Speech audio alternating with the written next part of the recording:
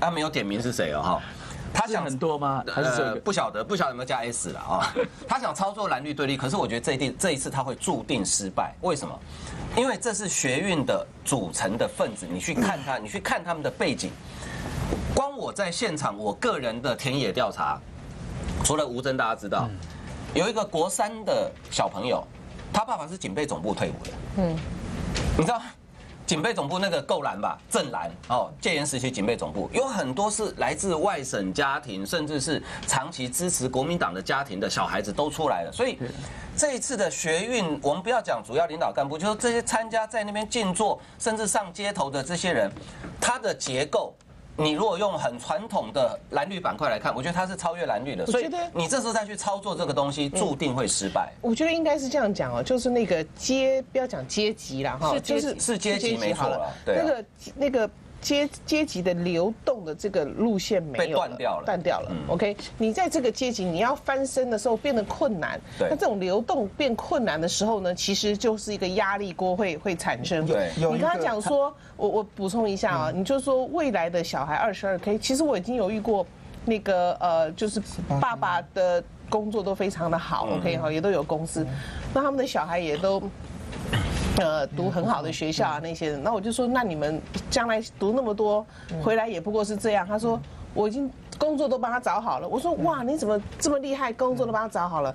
因为很简单，我的女儿去你公司上班，你的儿子来我公司上班，这就是他们将来的工作。OK，因为。大家都家大业大，都已经固定了，给你个工作机会难吗？不难，一点都不难。这样阶级还是没有流动。同意，我还要讲一次。我我把那个他刚讲的那个事情，在年轻人的世界，他们怎么说哈？他说这个是世代不正义。嗯。那战后的婴儿潮在高科技这一代得到很多的果实，包括金融操作。那现在年轻人是贫穷化，看不到未来。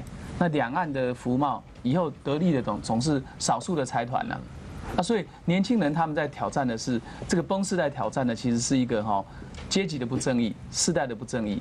那这个不正义是超越蓝绿的啦。对，坦白讲，那为什么马英九没有给大家未来？因为他就他就把这个中国化当做全球化。他说你们不要怕竞争，其实年轻人不怕竞争，嗯，他们并不害怕全球化，他们比我们更适应全球化。嗯。他们比我们更懂得这些工具。我跟大陆的台商听到我们台湾的官员讲说，你们将来可以去大陆赚五十二 K，真的笑到牙都崩了。我没有讲笑掉大牙，大牙还只笑掉一颗，他是笑掉整副牙都崩了。凭什么？在那个立法院内外的人，没有人能拿这种手机的。对对，没有人拿这种手机的，都是智慧型手机。不是这一桌只有我拿这个手机而已。请问一下，这个是谁拿的？我老人家，老人家拿智慧型手机的这个家庭的社经地位，你至少要供应他要免费上网，才能每天这样子滑滑滑嘛？要不要一定的成？中上阶级要不要？这些都是中产阶级以上的。嗯，这是以前最支持马英九的那一块。对，他不是蓝绿啊。如果没有看清这一这一块啊，脑袋没有这样子打铁打打个洞啊，是不行的。你去看，每个不是拿着 iPad，每个不是拿着 iPhone，不是拿着都在那边滑。他们叫华世代，是不是？华世代。这里面，你起码要供给他每个月免费上网要多少钱，然后打电话要多少钱？那个钱都不是小数目哎。那请问一下。能够有饭吃，还能够有给小孩子这个样子，请问他不是中产阶级以上吗？那今天出来反抗的就是中产阶级以上的这些人，他自己有个位置。我刚已经讲了，每个大爸爸妈妈可能有个位置，自己还可以过得去，也许还领十八趴，但是他的小孩呢？他不能靠爸靠妈妈？有一天老也戏呢，他进 来了，不要动。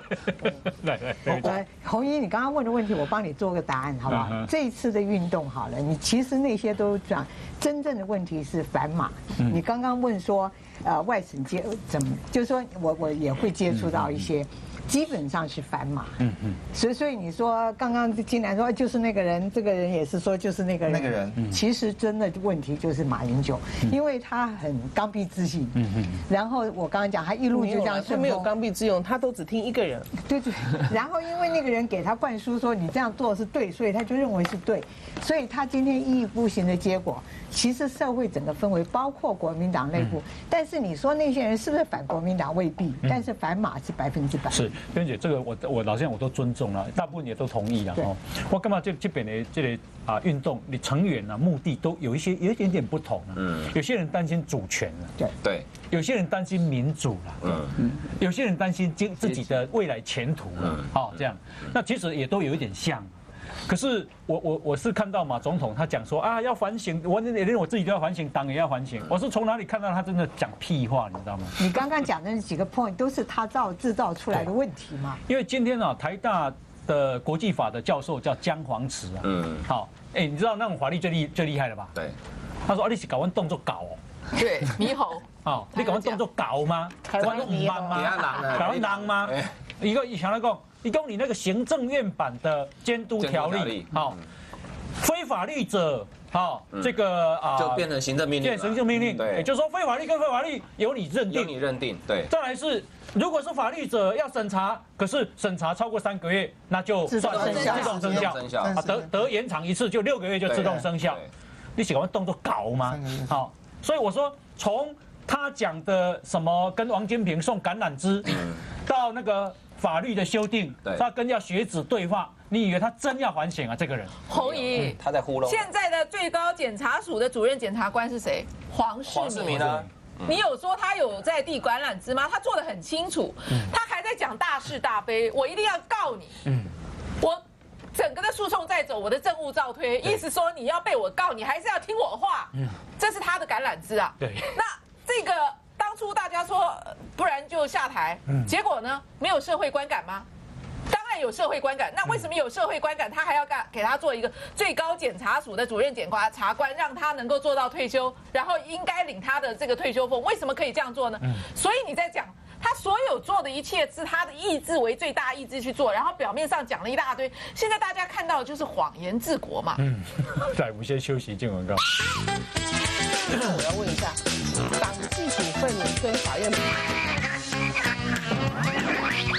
新闻画画画。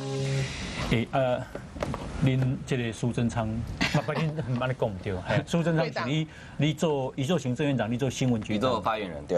长官呐，长官新闻局长，新闻局长兼行政发言人。嗯。那小英也是有找你当，我也是当发言人的哈。苏跟蔡我都熟了。嗯。那这次学运哈，其实是政治大地震，这个断层很大。嗯。那不是说马英九哈被被这个地震海啸哈淹没掉而已。嗯。民进党遇到很大的冲击，我想最新的民意、最新的声音哈要听得到。那我我觉得当然苏主席就选择退场。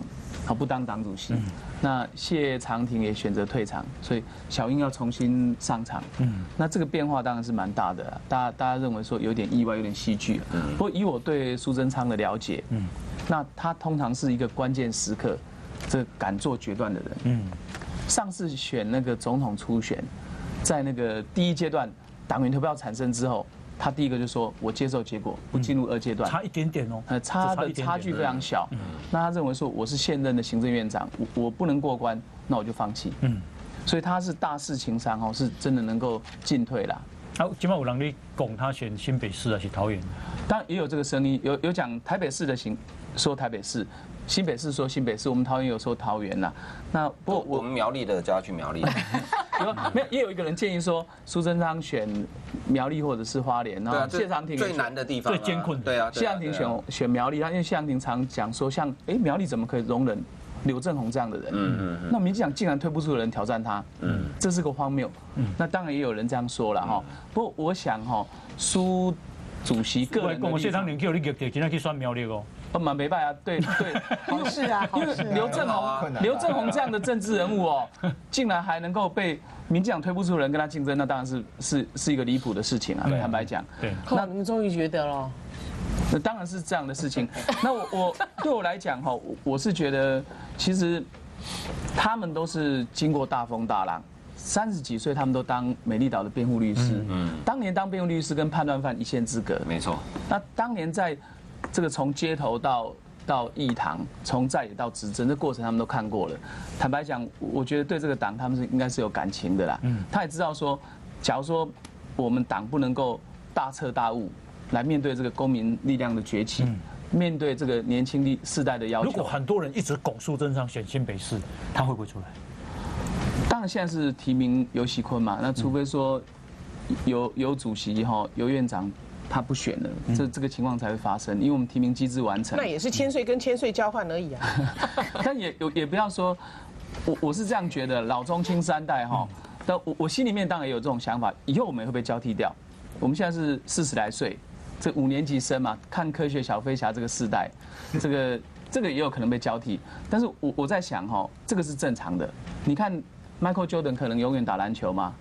这个选手偶尔要当教练，这是是，不过教练久了会当老板呐，所以这个不一定啦。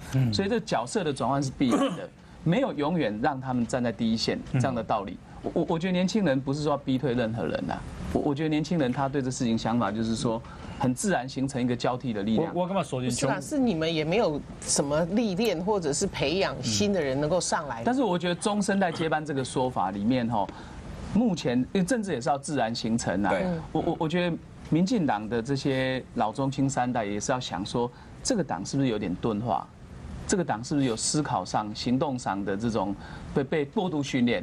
好，觉得很多事情我们啊不方便做，啊不敢去做。呃，我我觉得学生他很大胆想象哦，像我我在看现场，学生处理内部冲突，他就那你就上来讲，嗯，甚至还有个大长话论坛，让你大名大放。他意思是说，我们这个团体有有很多冲突是正常的，嗯，你看有几个冲突，要不要站行政院？嗯，内部有很多不同意见，对。可是当这事情发生的时候，异场的学生是说，他们的诉求跟我们一样，他们是我兄弟，嗯，他们不应该被镇压。学生处理比较成熟。第二个，留行政院呃，留立法院持续抗议，嗯，跟以及哦，最后要撤退场，还有那个包括去中正一分局路过的事情，学生团体有不同意见，我觉得他们这群学生。